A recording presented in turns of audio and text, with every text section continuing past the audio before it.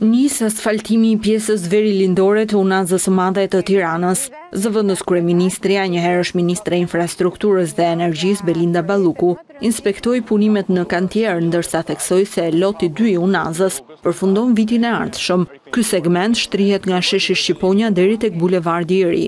Poshtë kësaj ure ku ne po ecim në ndërkohë ka një rrethrrotullim që do të lidh të gjitha rrugët dytësore dhe aksesi i banorëve do të jetë i plotë, apo jo? Kjo është diçka që e kemi zgjidhur shumë projekt, kemi qenë shumë të kujdesshëm që të adresojmë të gjithë lidhjet e rrugëve dytësore, duke qenë se në projektet e mëparshme të trashëguara kemi pasur një problematikë shumë të madhe që ka të bëjë me izolimin e zonave apo që i duhet të ecin shumë gjatë për të aksesuar shpitë e tyre.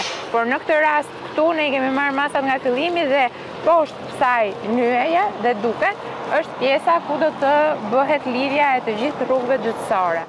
Zëvendëskryeministrja theksoi se të gjitha projektet po ecin me ritme të shpejta, duke respektuar afatet e vendosura, ndërsa kërkoi të njëjtin angazhim edhe për vitin e ardhshëm. Viti dy mijë e njëzet e treshi ka qenë një vit i mbarë ku të gjitha kantieret tona kanë ecur Sipas afateve kontraktuale, duhet thënë që ne tashmë as na shkon ndër mendje që të kemi vonesa nga koha e parashikuar në kontratë, madje kemi filluar që t'i kërkojmë kompanive që t'i dorëzojnë para afatit. Dhe ju këtë punë e keni bërë, kështu që ne ju falenderojmë për gjithë angazhimin dhe unë shpresoj që dhe 2024 të ketë të njëjtin ritëm për sa i përket kantiereve kudo në Shqipëri. Loti dy është i gjatë mbi dy kilometra dhe konsiderohet segmenti më i gjatë i Unazës së Madhe të Tiranës.